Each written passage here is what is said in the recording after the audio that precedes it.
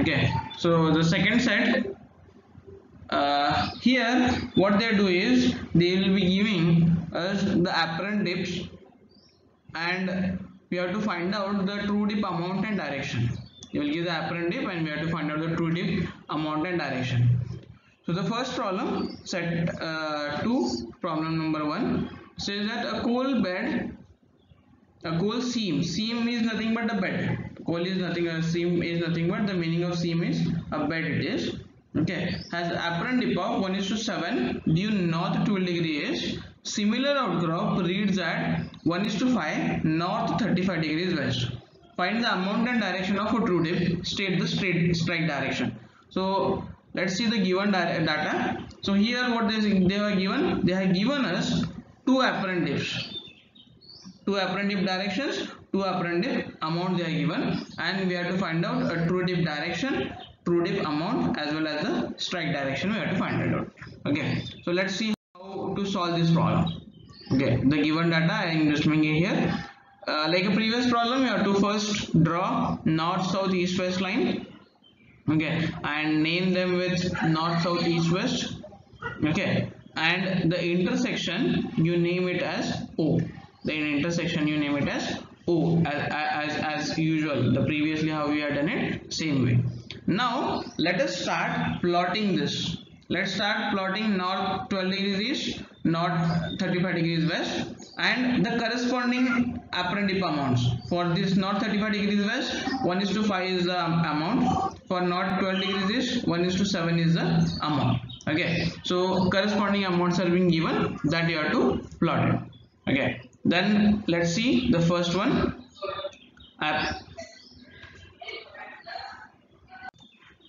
So first I plotted north 35 degrees west this direction okay and I'll write down apparent these are the apparent dips north 35 degrees west okay and I'll I'll mark the amount as 1 is to 5 I'll mark the amount as 1 is to 5 I'll name that point as point A. I name that point as point A. 1 is to 5 I measured. I measured from this this point. I measured from this point 5 centimeters over here till this point. And named it as point A. Okay. Then when this part is over this part is over. Now I'll plot it north 12 degrees east. North 12 degrees east. And I'll write down apparent dip north 12 degrees east. And I'll measure the 1.7 I'll measure it from this point the 7 centimeters till here okay? I'll name that point as point B. Now what I'll do is I'll join these two points. With a straight line I'll join these two points and parallelly this line I'll shift it at the point O also. Parallelly I shift. These lines should be parallel to each other okay? I shifted it. Then whatever is been given we completed. Whatever is being given we completed this part. Now we have to find out the apparent dip direction. What is the relation between strike direction a strike line and a true dip they are perpendicular. They are yes good. But they are perpendicular to each other. They are perpendicular to each other. So once they are perpendicular means if i draw a perpendicular line to this from the point o i'll get a true dip direction as well as amount. So what i did I'll be drawing a perpendicular line. I'll be drawing a perpendicular line to this strike line. So this perpendicular line falls over here. Okay. This perpendicular line falls over here. And I'll name that point wherever it is meeting. I'll name that point as OC point. Okay. And uh, I'll measure this angle I'll measure this angle angle NOC okay NOC will give me a true dip direction. Will give me a true dip direction I'll get it. And if I measure the distance OC I'll get the true dip amount. True dip amount I'll be getting it. Measure this angle to get the true dip direction and measure the distance OC to get the apparent amount. Okay. So these angles as usual if you measure these angles one is with respect to south and one respect to north you will get the strike direction also. Okay. How to do it? How to do it? I'll just recorded a small video. Okay. I recorded a small video. Okay. So that you can understand in a bit better manner. Okay. I'll think can play it here. Let's see.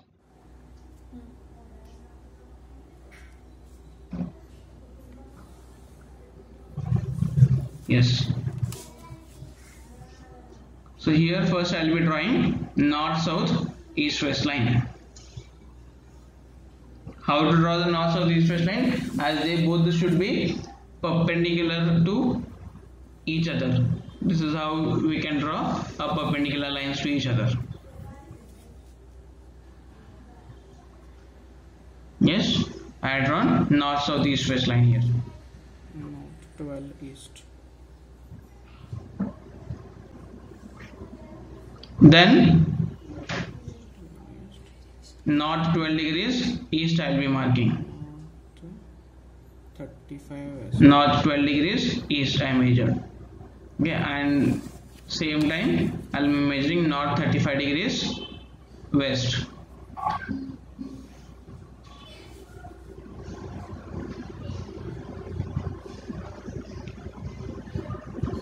I'll be joining this north 12 degrees east. And this will be north 35 degrees west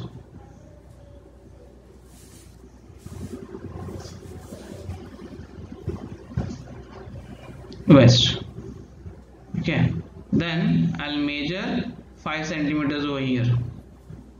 Sorry 7 centimeters over here. It is 1 is to 7 no? And not 12 degrees east. Yes. And here I'll measure 5 centimeters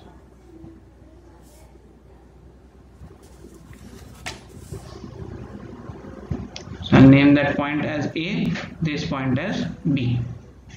Then I'll be joining these two points.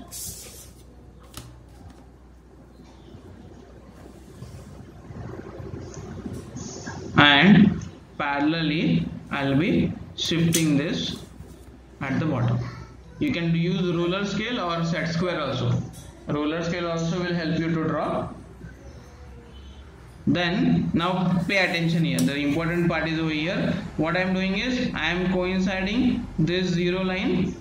I am coinciding this zero line with my strike line. This is my strike line here no? And I made a 90 degree to this line. How I did it you have observed. And I'll be measuring it. I may get the answer distance OC is?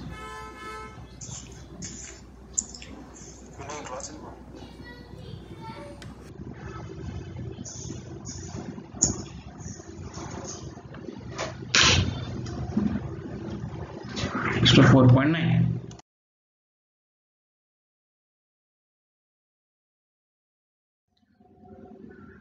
In a diamond mine, a diamond bearing rock has apparent dip of 1 is to 7 in not 25 east and 1 is to 9 in north 80 de- south 80 degrees east. Okay, the amount determine the amount and direction of true dip. So the given data itself shows that it is north sorry north 25 degrees east and corresponding amount for that is 1 is to 7 and another apparent direction is south 80 east and corresponding amount is 1 is to 9 okay. So we have to find out the true dip direction true dip amount and side direction. Okay. Let me first plot our north south east west lines.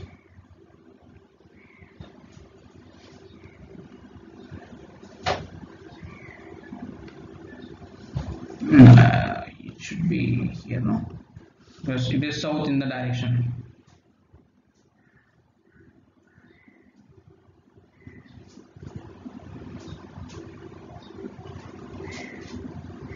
and the same way the apparent dip north south east west line.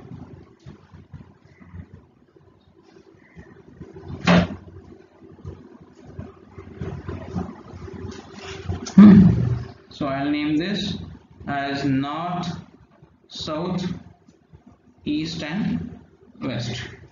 Okay let us plot let us plot the now north 25 east north 25 east so maybe something of this kind.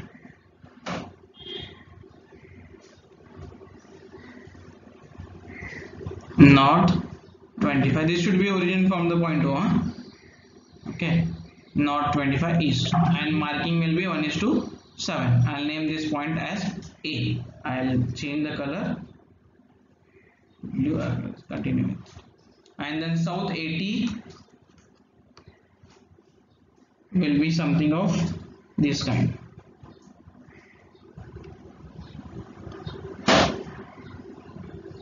South 80 south 80 east and 1 is to 9 okay. And 9 centimeter. I'll extend it and 9 centimeter may be somewhere here. Okay that is point B. Then what I'll do? I'll join these two points.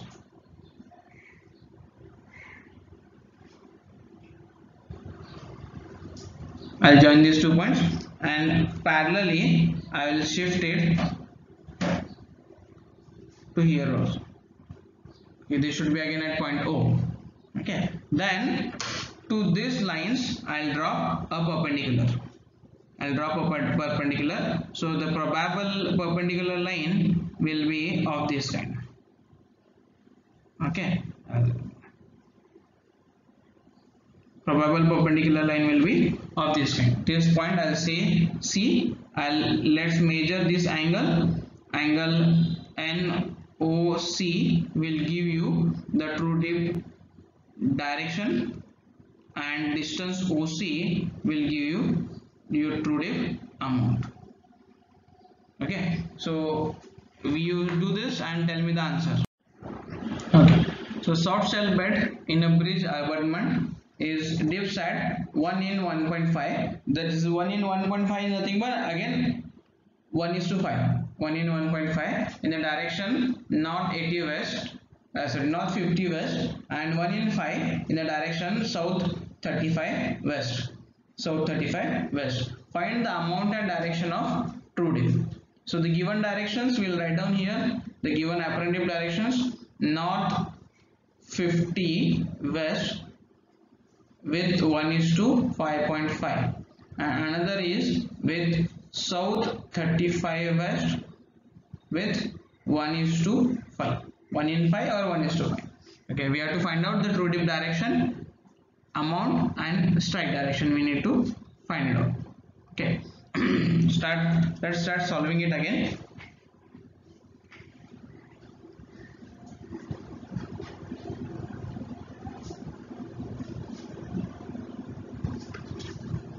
Mm-hmm. This side this time it is the other side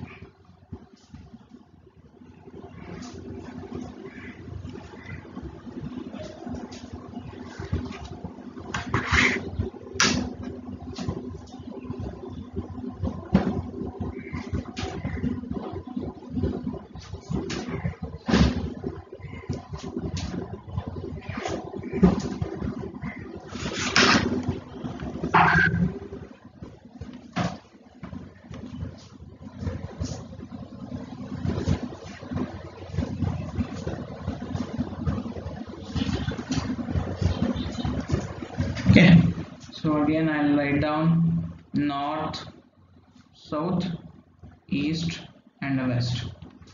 Okay so now let us see the first point.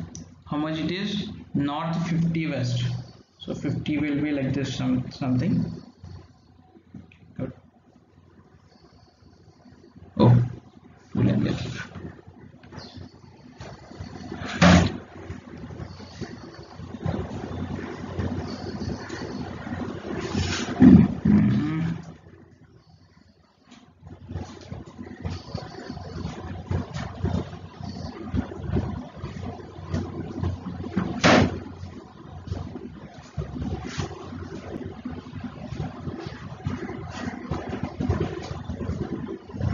50 will be change the color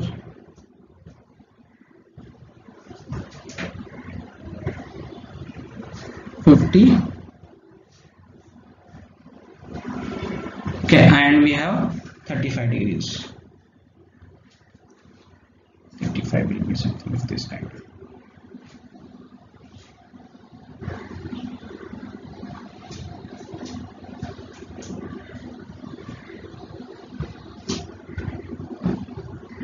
Thirty-five. Okay, so this is our north 50 west and this is our south 35 west. Okay. Now this is 5.5 I named it as A and this is 5 so named it as B. Okay. Now let us join this both the points